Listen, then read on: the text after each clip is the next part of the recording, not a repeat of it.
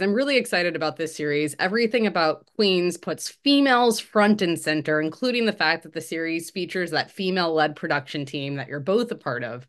But you both have this incredible history of working in this space. So I'm wondering how was working on this series different than your experiences on other ones? Well, I think um, the biggest difference was the amount of women involved. um, you know, throughout my career, I've mostly worked with men, especially out in the field on on trips. Um, so this was something that was going to be completely different.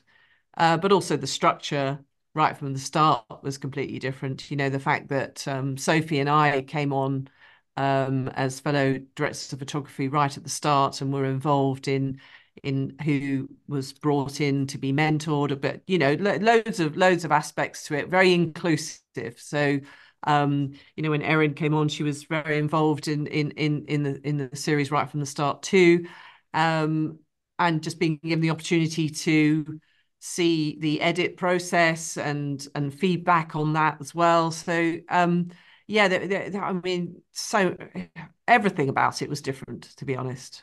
Um, the way it was set up and the end result too.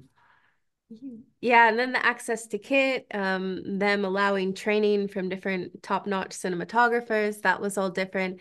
And I had never been on a shoot with another female cinematographer before Queens. So it was, I mean, it was just very different in general. That's incredible. I have chills, like especially hearing that you had access to other cinematographers to train from and stuff like that too. That's amazing. Yeah. Mm. Um, did you have any surprising interactions with any animals during filming? Are, are, there any funny stories to share, or maybe on the flip side, any close calls, scary moments?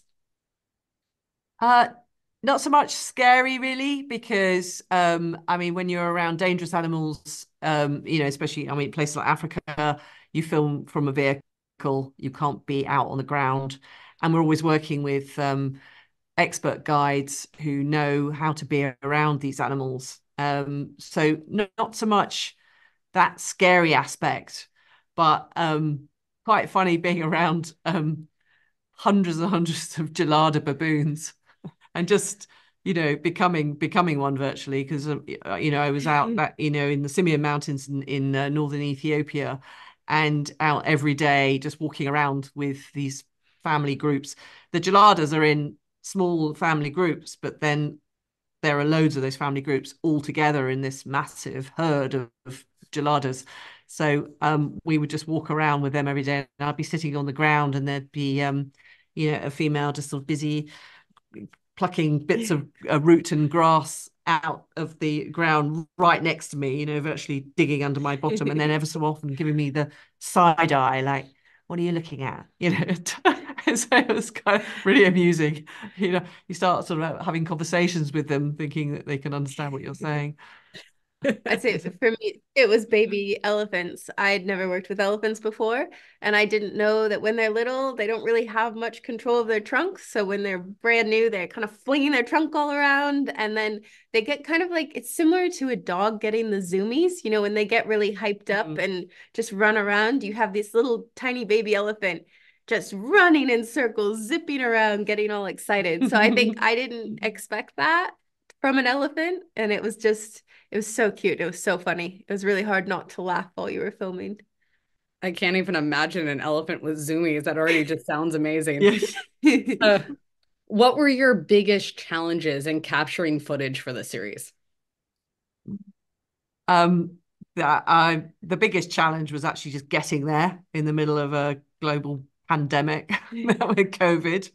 Um, that that um, started when the series was starting all its principal photography. So um, yeah, we we um, we had some challenges there, but um, once we were we were out in the field, um, it was I think uh, a bit nerve wracking with the expectation, you know, of the series, the ambition of the series, um, and also it's very much character led. So trying to tease out the personalities and the the interactions that were going on between the females in the groups we were, we were following.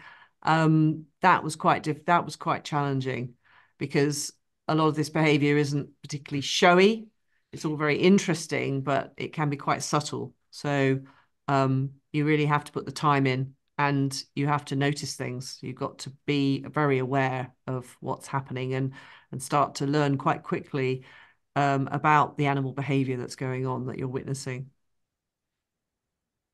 Yeah. Mm. COVID was definitely the biggest challenge during this, getting to locations.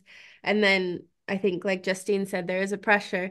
You don't want this to be the women led series that isn't that great. So I think we all were had the realization this needed to be top notch and it needed to be the best it could be. And I think we did that.